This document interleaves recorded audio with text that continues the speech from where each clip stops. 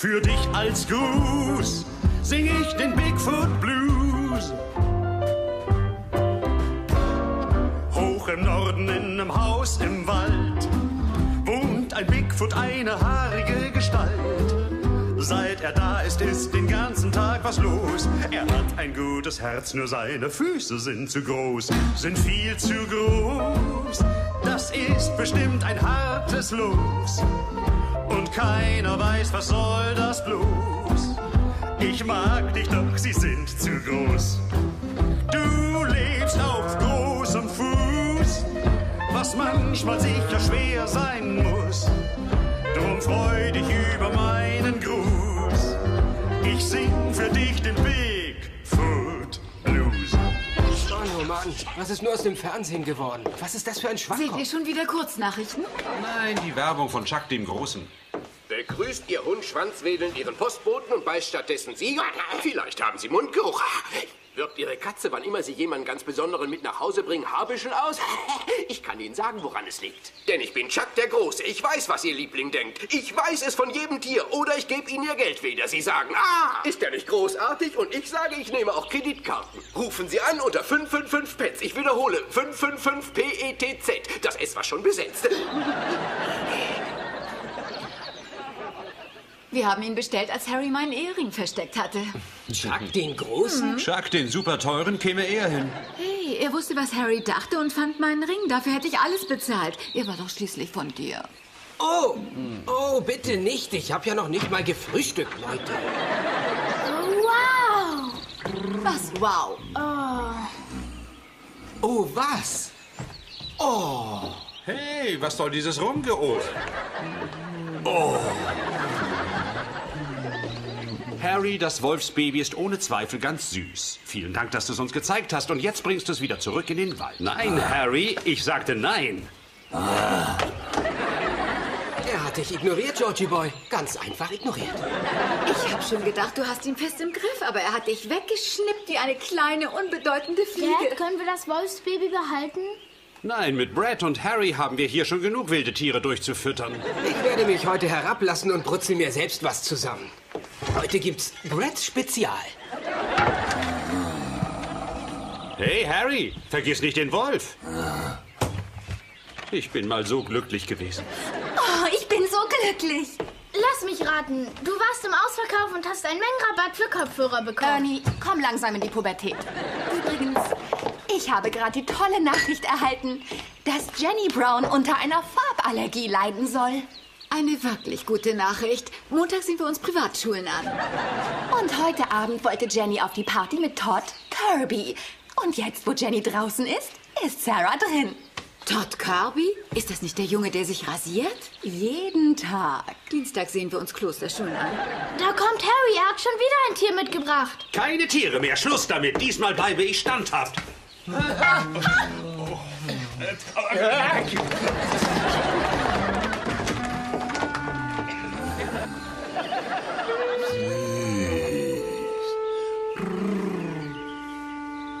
Ich verstehe einfach nicht, was mit Harry los ist.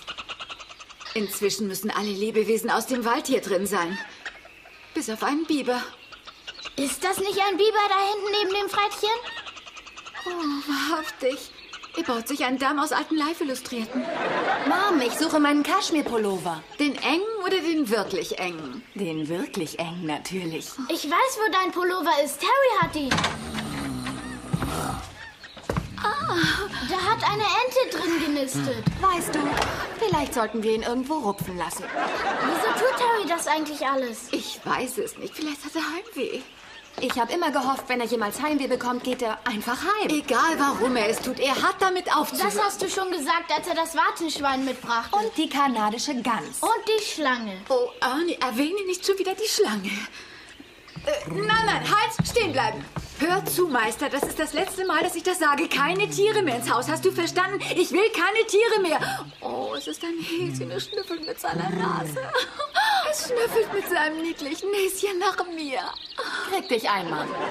Harry, los, bring es in seinen Stall. In seinen Stall, nicht in unseren Stall.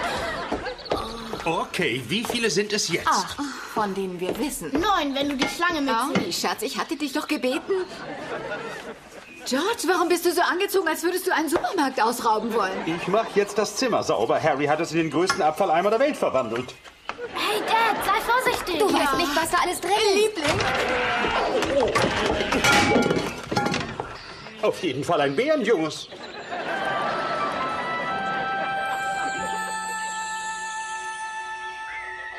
Oh, ich wage nicht daran zu denken, was er als nächstes reinträgt. Aus gutem Grund. Harry!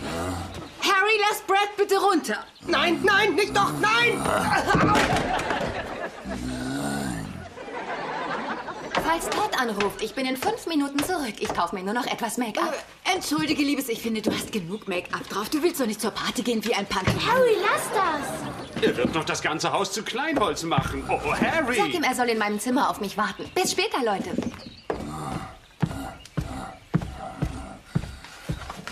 Harry, geh mir aus dem Weg. Harry, lass Sarah raus! Lass Sarah raus, nicht heb Sarah auf. Ich klär das, ich klär das schon. Harry? Hör zu, vielleicht weißt du es nicht, aber ich war ein Jahr in Bangkok und lernte von einem buddhistischen Mönch Kampftechniken. Ich dachte, die Buddhisten wären gegen Gewalt. Das weiß er doch nicht. Also hör zu, Harry. Ich werde bis drei zählen und dann lässt du Sarah runter. Sonst würdest du mich zwingen, den lähmenden Wing Chun Daumengriff anzuwenden. Eins.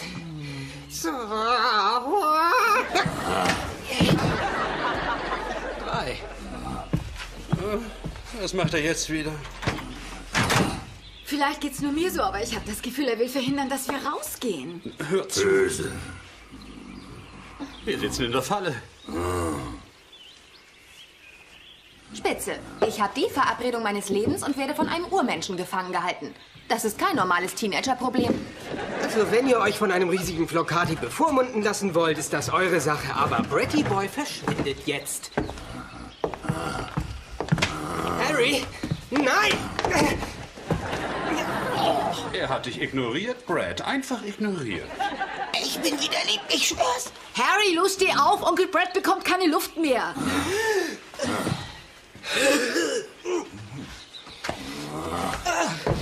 Ich versteh's nicht. Ich weiß nicht, was Harry sich dabei denkt. Weiß ich auch nicht, aber ich weiß, wer es weiß.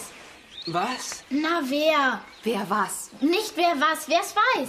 Wer weiß was? Hört jetzt auf damit. Also, wer könnte wissen, was Harry denkt? Chuck der Große. Aber natürlich. Wie ist seine Nummer?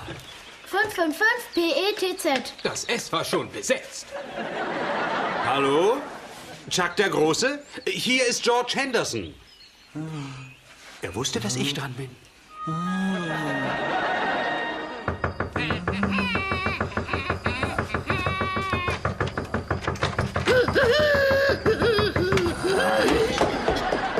Kommen Sie rein, Chuck. Seht euch den Turban an vom Kostümverleih.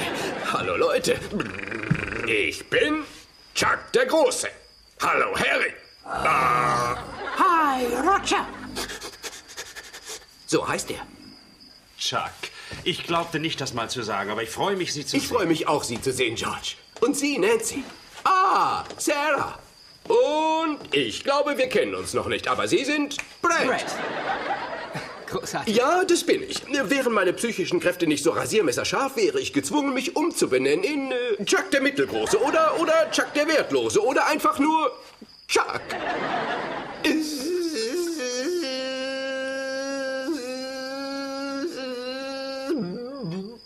Spüre im Raum eine ungewöhnlich große Menge von animalischer Energie. Oh, das bin vermutlich ich.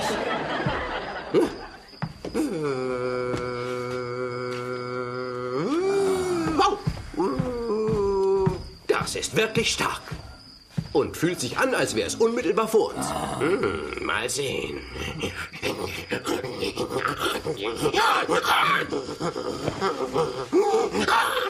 Diese Couch ist köstlich.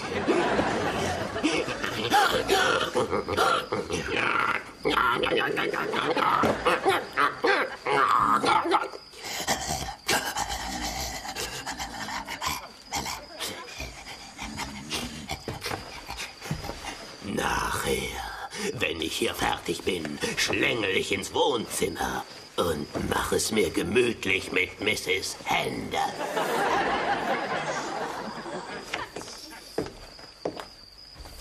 Ähm, Chuck. Chuck, wir hatten wirklich einen schweren Tag und möchten gern wieder auf den Teppich kommen. Oh, das wusste ich. Das wusste ich. Hören Sie, Harry hat, glaube ich, ein echtes Problem. Er hat eine ganze Menge Tiere hergebracht. Wir müssen rausfinden, wieso. Ja. Mal sehen. Wenn ich mich recht erinnere, habe ich damals für den psychischen Kontakt zu eurem Bigfoot den Weg über Ernie als Medium benutzt. Genau. Ihr seid echt eine verrückte Familie. Tja, wenn Sie sowas sagen, sehe ich das als eine Art Kompliment. Arnie, komm mal eben her. Geht's den Tieren da drinnen gut? Ja, sie sehen sich die Turtles an. Sie finden sie top. Ernie, gib mir deine Hand.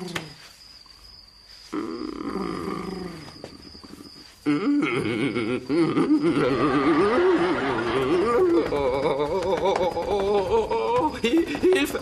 Hilfe! Oh. Wisst ihr was?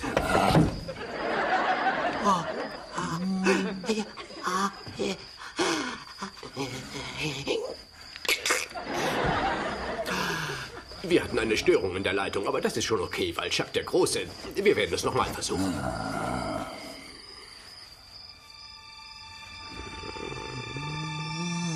Irgendwas ist passiert. Das Haus liegt in Trümmern. Die Möbel sind umgefallen. Die Menschen liegen herum. Sieht aus, als wärt ihr alle verletzt. Aber wo ist Harry?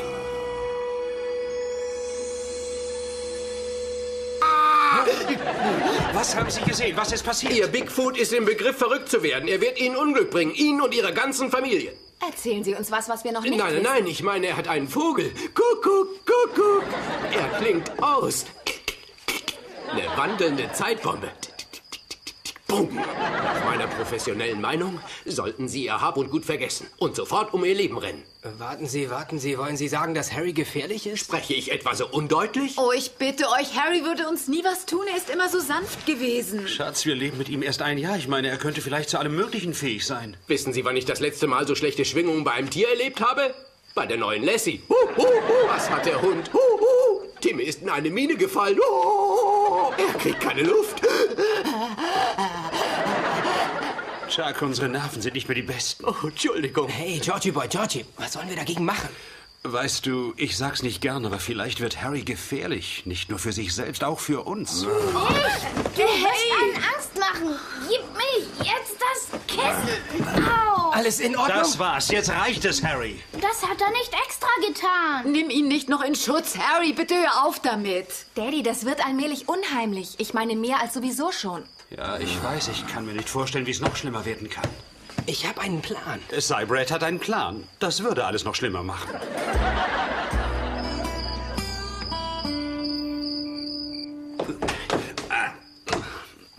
Ist nur ein Tipp. Schlichte bloß niemals ein Frettchenstreit. Also, setzen wir den Plan in die Tat um. Fertig? Fertig, fertig? Fertig. Fertig? Können wir jetzt weitermachen? Fertig.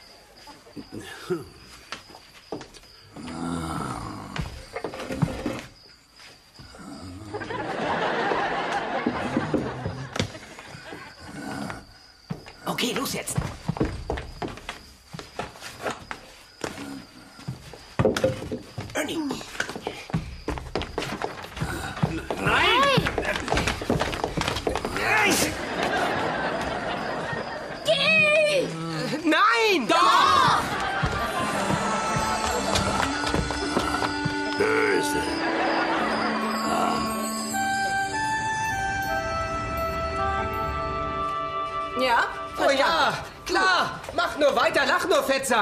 Ich würde dich gern mal in Unterwäsche sehen.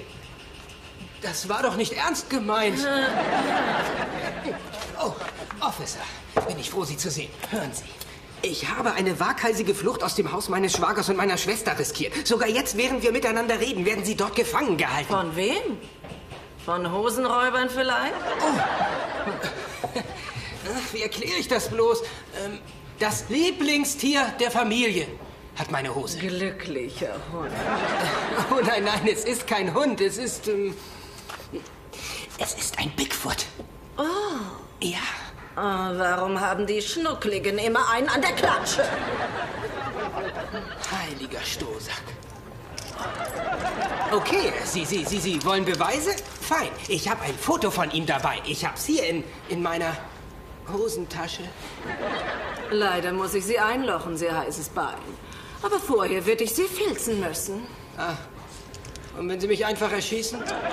Oh mein Gott!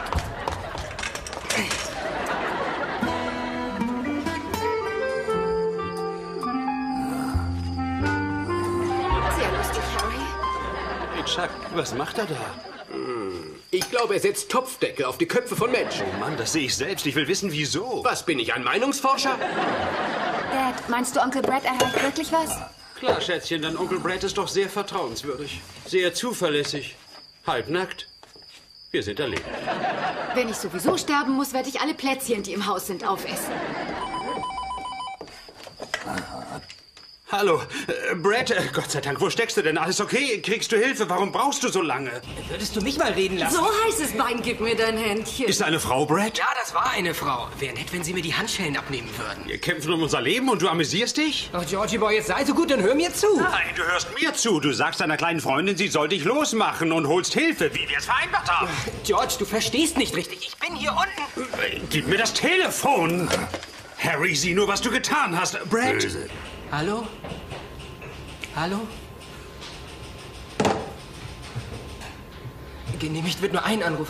Mhm. Officer, äh, hören Sie. Der Bigfoot zerbrach das Telefon.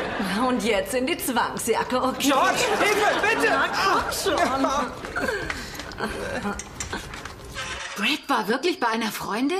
Nun ja, so war er ja auch angezogen. Vergesst Brad, das war nicht seine Schuld. Genau genommen müssen wir nur einer Person die Schuld geben. Ja, sicher, es ist immer der Psychiater, hm? Nicht Sie, Harry. Harry. Vergiss es, Harry. Hör zu. Ich habe es satt, dass mein Fernsehzimmer in einen Zoo verwandelt wird. Ich habe es satt, dass Tiere meine Möbel auffressen. Und am meisten kotzt es mich an, ein Gefangener in meinem eigenen Haus zu sein. George, pass auf! Ich werde dir was sagen. Du wirst jetzt da reingehen und du wirst deine Freunde nehmen und wirst sie dorthin bringen, wo sie hingehören. Kapiert? Los!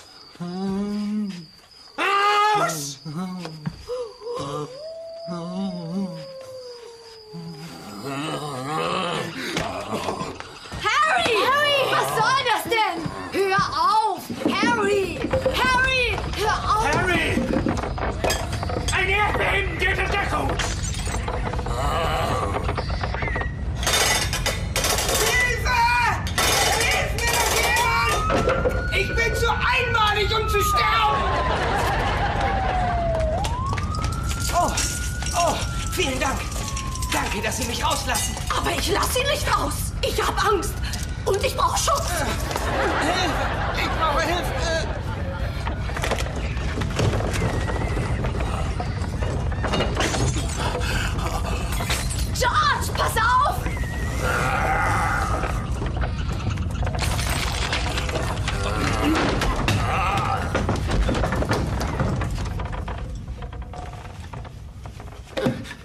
Ernie.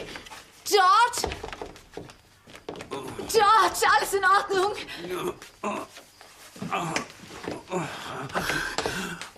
Oh nein. Ist Harry okay? Nein, okay sieht er nicht aus. Das hätte mich treffen können. Ich schätze, Harry wusste das. Harry hat bestimmt was von dem Erdbeben gewusst. Bei ihm ist der Instinkt sicher viel schärfer als bei Menschen. Darum hat er auch alle Tiere reingebracht. Deswegen sollten wir auch nicht aus dem Haus, weil er uns beschützen wollte, hat er uns hier die ganze Zeit gefangen. Verzeih mir, dass ich dich angeschrien habe. Es tut mir so leid. Nun mach doch endlich was. Ich versuche Kontakt mit ihm aufzunehmen. Hm. Wartet mal, ich höre etwas. Es ist noch sehr schwach, aber es klingt wie... Autsch! Mein Kopf tut weh. Harry, Harry ist wieder okay. Siehst du, Harry, wir sind alle gerettet. Harry. Harry, es tut mir leid, dass ich dachte, du könntest uns wehtun. Du hast uns das Leben gerettet. Danke. Ah!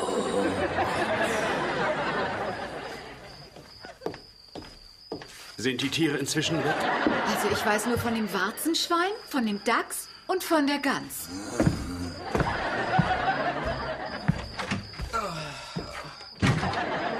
Passiert, alles okay? Ja, aber was ist denn mit dir los?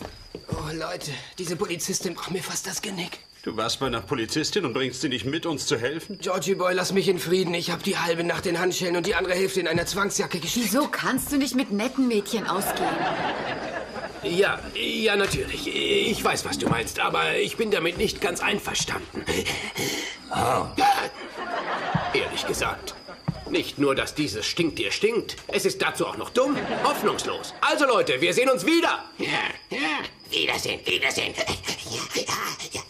Hasta la vista. Uh, Baby, der Käfer und ich reden nicht mehr miteinander. Äh, Chuck.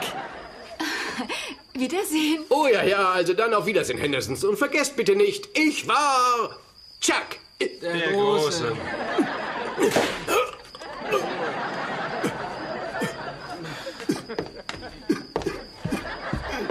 kann bestimmt nicht gut für ihn sein.